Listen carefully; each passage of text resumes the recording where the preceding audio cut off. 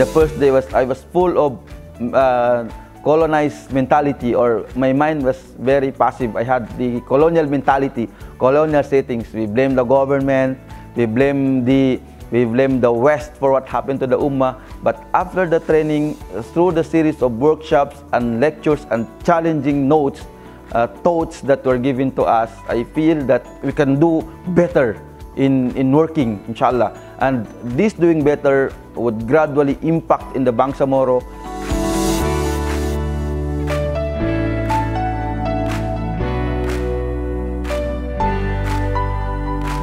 So my baggage when I came here is it's more on very political.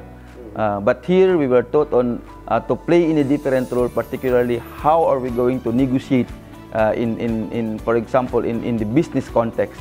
So when we negotiate in the business context in the workshop, my thinking was more political. So that's why we were sitting there and our aim is to manipulate and to defeat, defeat our, uh, our uh, colleagues who are in the different um, settings and unfortunately, we didn't come with the, we failed to come with the wise agreement, which uh, is not a, a, which is a challenging experience uh, to, to, to us. Uh, the trainers are very good. Um, compared to other trainings that we were in, uh, particularly those organized by uh, Western funding donors, Western institutions, um, their standards are low. Sometimes they didn't pose as challenge, no? Um, sometimes they, uh, from international context, they lowered it in, in our context, which affect the, the, um, the learning process of the, the participants. These are the trainings that we had here. But in this training, uh, mashallah, alhamdulillah, the, the methodology is different.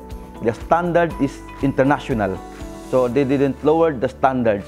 Now it is, it is our obligations to, to adjust in that standards so that the quality of the training wouldn't be sacrificed.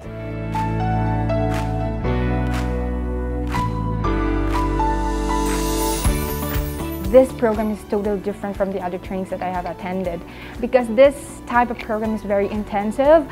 I think I have now the confidence to go out there and share what, I, what I've learned in this program. So uh, it added my confidence, my, um, my um, tr trust to myself and then um, I can 100% say that I have something to give for my Bangsamoro people. The, the mechanisms, as I've observed, the mechanisms that the facilitators and the trainers use, they uh, give the situation first. Uh, they let the participants experience the situation first before giving the inputs. So the participants, uh, you know, experience is the best teacher and then you, the moment you experience that mistakes, you'll be able to forget it for the rest of your life. So that's what I guarantee. That, that's what I guarantee. That you won't forget it for the rest of your lives because it's an actual experience. And um, compared to just lecturing there, saying this and that, it's, it's so boring. But this program is something totally different from the previous, previous trainings that I've attended.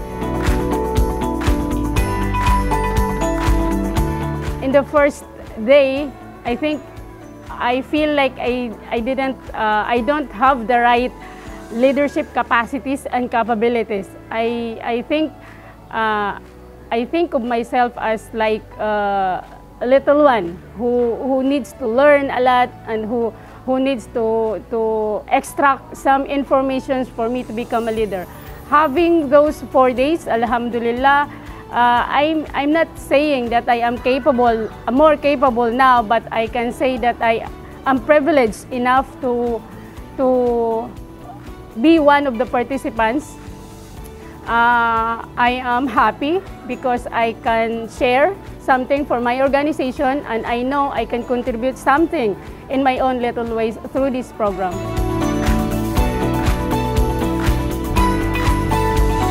After the four-day training, there was a lot of learnings for me personally. I learned that I can look into the eyes of the person, that I can uh, speak in front of the crowd, that I can decide uh, whenever things needs to be decided, and uh, lots of knowledge were uh, contributed or shared to us.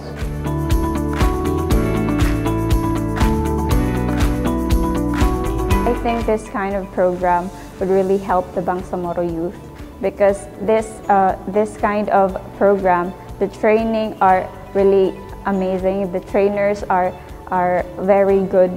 That the trainers are really pushing us to to do better jobs, to think harder, to think critically, and it really uh, personally it really opened my mind that I should I should be reading more, I should be engaging more, and I think if if this kind of trainings would be done to more of the Bangsamoro youth, it would really help us.